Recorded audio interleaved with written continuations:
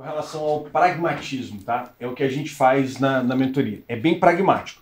Normalmente quem está começando trabalha mais com a perspectiva de sonho. É muito legal você ver um vídeo motivacional aí da PF, da PRF e falar, porra, isso encanta mesmo, é legal, parece lá helicóptero, cachorro, é operação, aquela porra toda. Tudo muito legal. Aí agora a gente vem pro pragmatismo quando a gente fala de mentoria. Ó, o que, que eu preciso saber? Ah, é português, informática, assim, lógico, administrativo, constitucional, penal, processo penal. Beleza.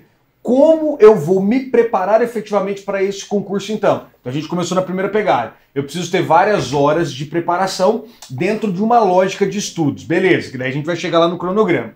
Nesta prioridade, você vai perceber, você vai começar a ter uma visão literalmente do todo. Só que você precisa ver tudo para ter visão do todo. Olha como é que o negócio é meio lógico. Então a gente propõe é, é, inicialmente você assistir a um curso completo. Então tem muita gente que fala, ai, será que dá tempo? Será que eu consigo? Será que... Eu falo, cara, primeiro você faz, aí depois você faz essa pergunta. Então, por exemplo, ao assistir a um, um, curso completo, bonitinho, redondinho, montar seu caderninho lá e tudo mais, conforme a gente orienta, você já dá uma relaxada. Você fala, é, até que não é tanta coisa assim. E é claro que posteriormente outros, outras dificuldades né, vão acabar aparecendo. Como, como por exemplo, ali, né, uma matéria em especial, é, essas revisões, conseguir lembrar de tudo, começam os medos, começa a chegar as provas, porque depois de um tempo de preparação você tem que se colocar à prova, literalmente, fazer algumas provas, e aí é esse jogo todo que a gente está falando. O problema é que a gente às vezes tenta antecipar algumas coisas, né? A gente quer isso. É ansiedade, eu quero ver, eu quero como é que vai, né, como é que vai ser, como é que não vai ser. Enfim, a gente fala, cara, com calma, tudo dá certo.